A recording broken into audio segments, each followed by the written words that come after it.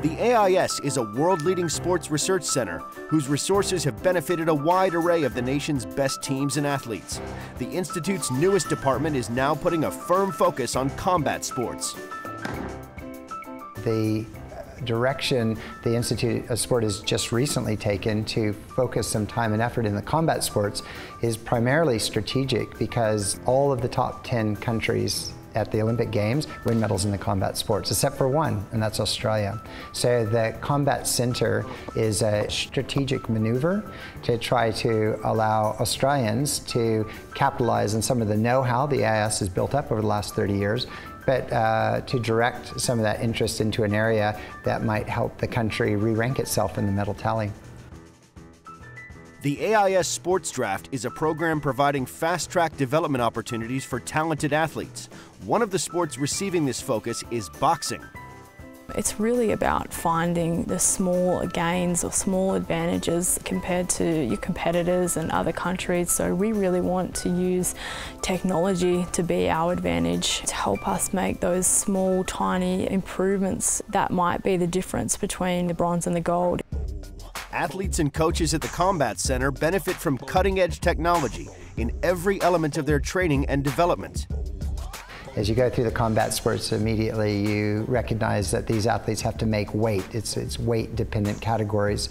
And so there's a tremendous number of questions about how to target the right weight class. And we're really fortunate at the Institute of Sport to have our own DEXA machine, which allows us to get very high resolution measurements of, of lean tissue and uh, fat mass and, and gives us a great understanding of body composition and allows us to understand how to target an athlete into an appropriate weight class where we think they can be most competitive. Um, so this technology is, is emerging and new. It can be combined with other really cool technologies that allow us to capture what the body looks like. Um, we can do a laser scan of the body and this gives us a, a real a visual image of where the muscle mass is distributed. We can uh, look at the upper body and the lower body, and as they make weight or, or start to change their physique, we can see how the body is responding. Obviously, as a dietitian, when we're prescribing diets, it's to affect changes in body composition. So whether we want somebody to put on muscle mass or lose body fat, and in order to track whether uh, we're having success with this, we need to be able to measure the changes. So some of the new technologies like the DEXA scanner, which we use, as well as the 3D scanner, can just give us a really good, accurate picture of how the body is changing over time.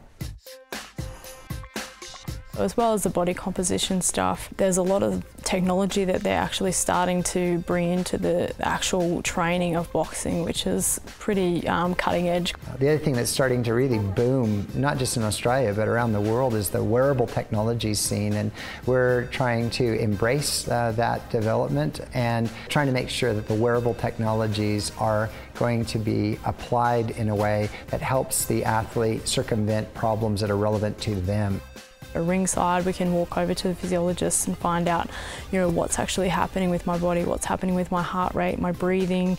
Am I really as relaxed as I should be or as, as relaxed as I think I am? Um, so things like that uh, the technology is just in, invaluable.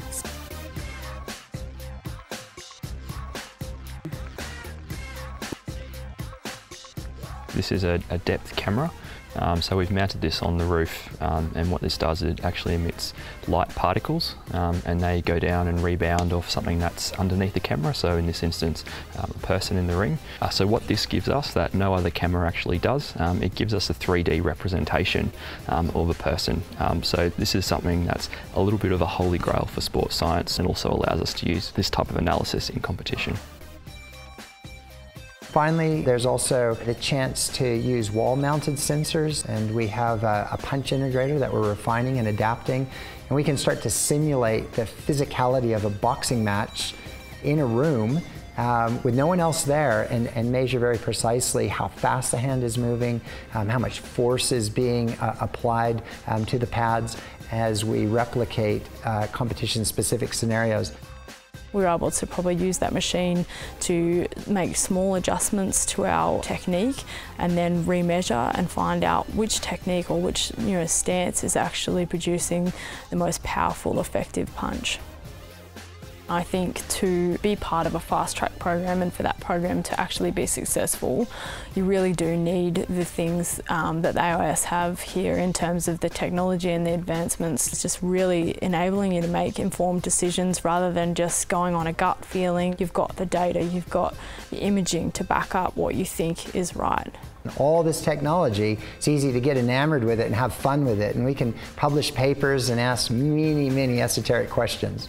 But at the end of the day, what we're really trying to do is place our understanding of the sport and place our understanding of the, of the questions the, the coaches are asking into some order so that the athlete is not wasting time and they're advancing so that they can fulfill their ultimate potential as an athlete.